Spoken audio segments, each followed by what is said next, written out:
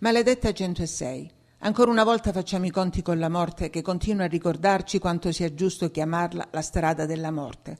E mentre come al solito in questa città e territorio ci si contende il primato sull'ammodernamento della strada, la 106 continua ad essere una strada in cui tante persone hanno perso la vita.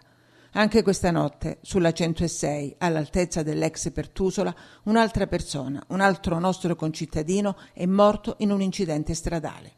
Vincenzo Perna, 41 anni, era a bordo del suo scooter con il figlio dodicenne mentre rientrava dai campetti. Cecè, così come lo chiamavamo tutti gli amici, è morto sul colpo. La sua moto è stata tamponata da un Alfa Romeo Giulietta che viaggiava nello stesso senso di marcia. Il figlio è stato subito soccorso e trasportato all'ospedale di Catanzaro. Sul posto sono intervenuti i vigili del fuoco di Crotone, il 118 e la polizia per i rilievi. Vincenzo Perna, Gegè, un amico di tutti, simbolo del quartiere Fondo Gesù. Era noto tra i crotonesi per il suo passato calcistico dilettantistico, nella sua gioventù prima una carriera da giocatore e poi da allenatore e dirigente. Le cause del sinistro sono ancora in fase di accertamento. Uno scontro fatale per Vincenzo Perna. Maledetta 106, la strada che nel tempo vede sempre di più allungare l'elenco delle persone che hanno perso la vita.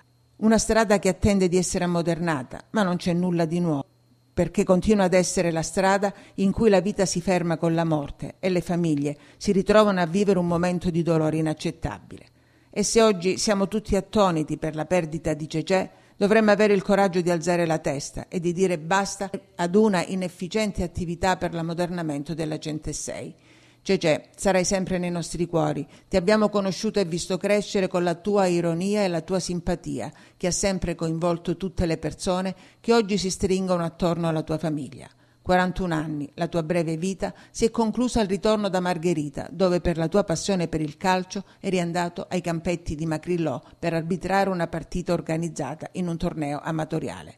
Maledetta 106, siamo al colmo della sopportazione. Basta con le parole e si passi ai fatti, nel rispetto che dobbiamo portare a tutte le vittime della 106.